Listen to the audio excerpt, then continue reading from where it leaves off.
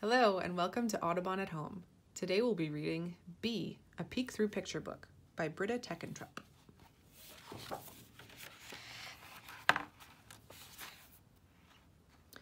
Dawn is breaking on a brand new day, and in the meadow, poppies sway.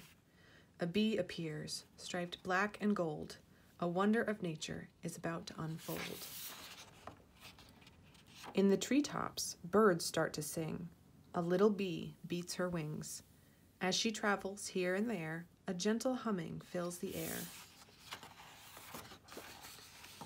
Back and forth, to and fro, Bee knows exactly where to go.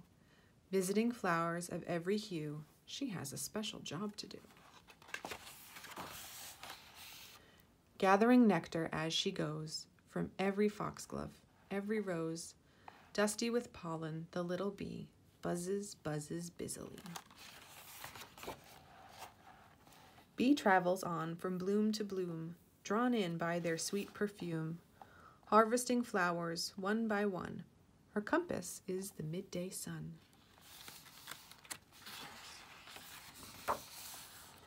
Among the orchard's apple trees, blossoms quiver in the breeze. Carrying pollen from place to place, bee always leaves a tiny trace.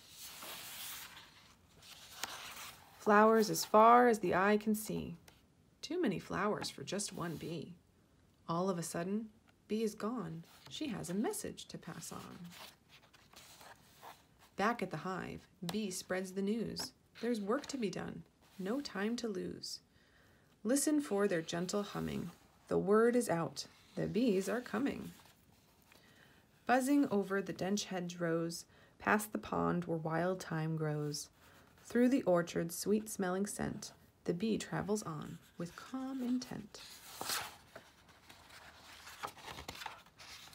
As lilies glow orange in the sun, the bees must finish what they've begun, stopping at every flower they find, leaving the gift of pollen behind.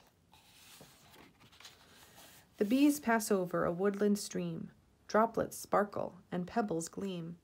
Water trickles, bubbles, and weaves. A weeping willow trails its leaves. As the bees fly on through buds and burrs, a tiny miracle occurs. So many plants and flowers you see were given life by one small bee. Thank you for visiting us at Audubon at Home.